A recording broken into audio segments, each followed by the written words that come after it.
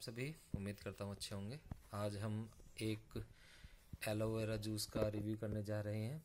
ये एक केरल की, साउथ की जानी मानी कंपनी है, कैपिया आयुर्वेद, और इसका एलोवेरा जूस है, जो कि काफ़ी अच्छा है। और एलोवेरा के जो है, मुझे आपको बताने की ज़रूरत नहीं, ये दो सौ चालीस रुपये का एक लीटर है, जो कि आपको वन एम जी से या अदर साइटों से जो है 195 का मिल जाएगा। इससे आप सुबह शाम 30-30 एम ले सकते हैं। ये आपकी त्वचा, आपके हेयर के लिए ये बहुत सारी बीमारियों को दूर रखता है। बहुत सारी व्याधियों को दूर रखता है। इसमें ये प्योर जो है एलोवेरा का जूस है। इसमें कुछ भी मिक्सअप नहीं है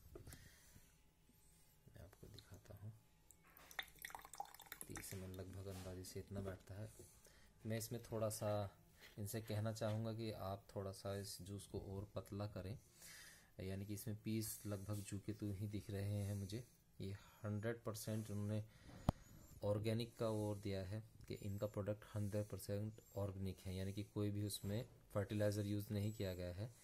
ये देसी खाद से तैयार किया गया है। तो और साथ में इसके आपको ये एक एलोवेरा जेल की ट्यूब भी इसके साथ फ़िलहाल सैंपल में दे रहे हैं, जो आपको उसी बोतल में निकलती है। शायद आज कैमरे का फोकस पता नहीं क्या हो रहा, हो ही नहीं रहा। स्किन जेल है, ये तीस रुपये का है वैसे, और मैंने यूज़ करके देखा है एलोवेरा जेल, ये रामदेव जी के उससे बिल्कुल अलग है। इसमें ग्रीन टी का एक्सटेंड भी डला हुआ है, उसकी वजह से बहुत अच्छी खुशबू आती है इसमें, बहुत ही अच्छा है।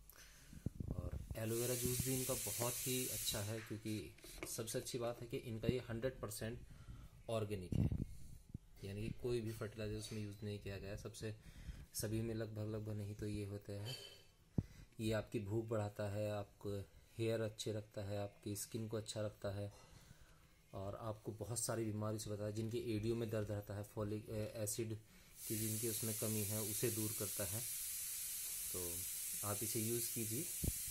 आपके लिए फिर से मैं एक आयुर्वेदिक मेडिसिन के बारे में जानकारी लेकर आऊँगा। जय हिंद।